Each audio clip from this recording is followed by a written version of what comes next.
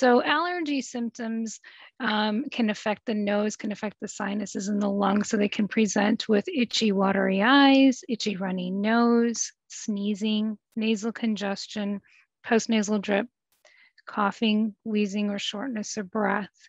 Um, and some of these symptoms are similar or overlap with COVID. COVID, of course, we see a lot of coughing, shortness of breath, some wheezing.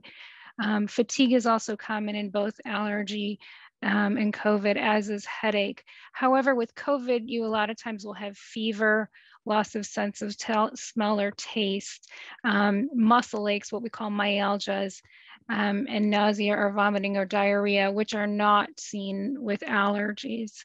Um, with, with allergies, what's happened, it says the immune system decides to see harmless substances such as pet dander or pollen or dust as um, foreign.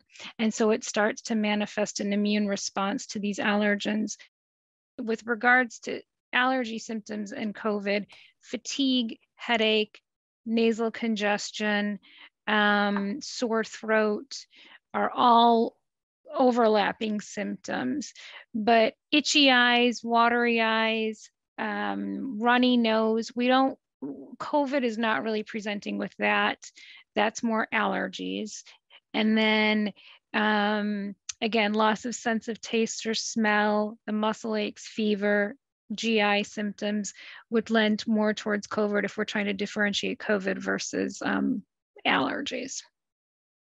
Typically, with a cold, you know, symptoms are sort of uh, come on um, fairly quickly. You may have a fever, you may have some muscle aches, you may have, you can certainly have the headaches and um, just generalized malaise. You may have some nausea or vomiting depending on what your symptoms are um, or how bad your, your symptoms are.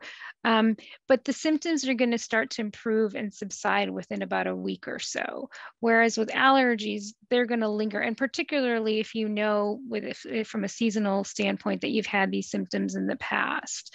Um, you know, if you know that every spring you sort of have allergy symptoms, then that your history kind of helps along with that.